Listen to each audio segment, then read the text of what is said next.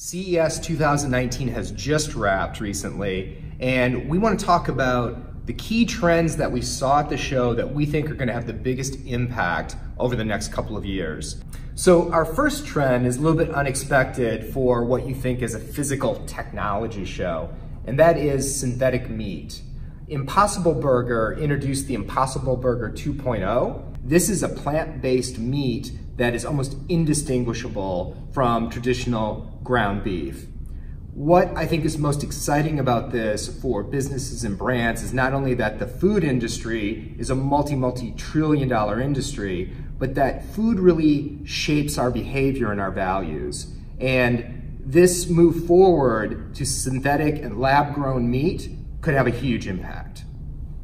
The next trend is AI voice assistants. What was clear at CES wasn't so much who won, but that voice assistants are literally going to be in everything from your bathroom to your car. And it isn't a question of Google or Apple or Amazon who's going to win this battle. It's more of what we saw with LG, where they are accepting all three platforms in their devices, like their smart TVs. I think the key takeaway here is businesses and brands are going to have to look to work on all three platforms in the ways that are relevant for their brand.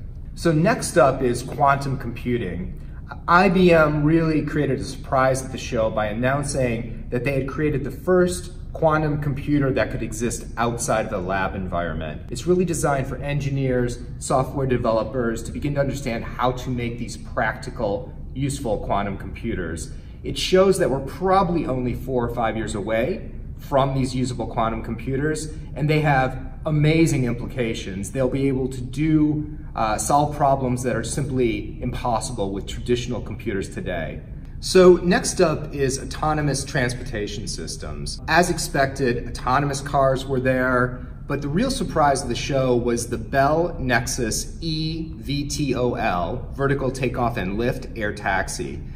This is a prototype that Bell created that looks like it's right out of a science fiction novel. Uh, it's kind of a combination of a giant drone slash helicopter designed to carry four passengers.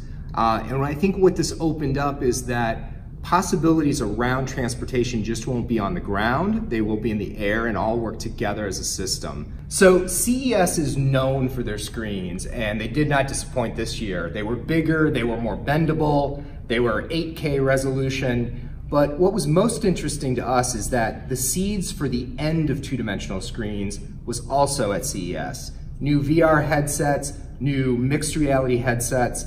The one to look for is the Vuzix Razr. Is a pair of glasses that look like sports sunglasses, $1,000, currently available for pre-order. You can talk to them, Alexa is built in. In many ways, it's almost like Google's vision of glass is finally here and ready to try out. At CES, there were dozens and dozens of our future machine overlords uh, on display. Most of them showcased their new utility, but the most interesting robot was the Lovot, a domestic robot that is designed to do absolutely nothing functional or practical. It's completely designed to have an emotional relationship with you and you with it. I think this is really important for us to begin to really adopt domestic robots. They're gonna have to have the balance of both emotional relevance and utility. So finally, uh, as expected, 5G is the trend we're focused on. What was interesting at CES is there was almost no real 5G uh, equipment to be seen. This is the building year where the networks are implemented, where the hardware all comes out, and the new possibilities that 5G create around autonomous driving, around where uh, wireless wearables, like the, the mixed reality glasses, all these things are gonna be well underway this year.